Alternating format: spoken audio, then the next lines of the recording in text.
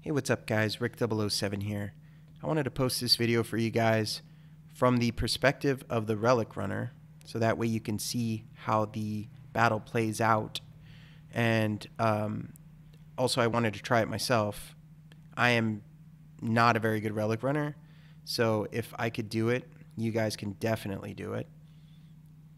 You want to set up everyone in the back, just like before. Weapons of light, tethers, and sleepers at the ready. You're going to want to destroy a round of oracles. That way you can get your super up, and then you destroy one more just to make sure that they aren't going off while you're DPSing the boss.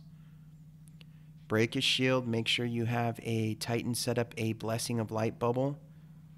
And if you are the Relic Runner, you're going to want to save your shield for the other side.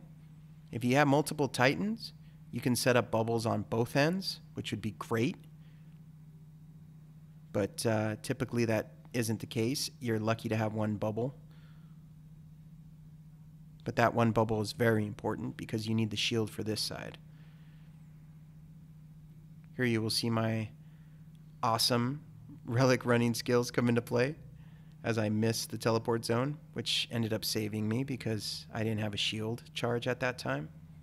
You see, one of them, one of the people died, and we were still able to finish this, even though he died and I died. They still had enough DPS and enough time to take down the Templar and get the challenge. You'll see it on the bottom left. Everyone wipes, but it will say challenge complete. Everyone got their loot.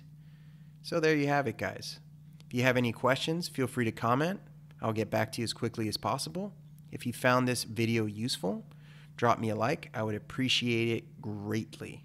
And also, guys, just wanted to say thank you for all the comments and likes on the last video. I really appreciate all the support and all the feedback. See you guys next time.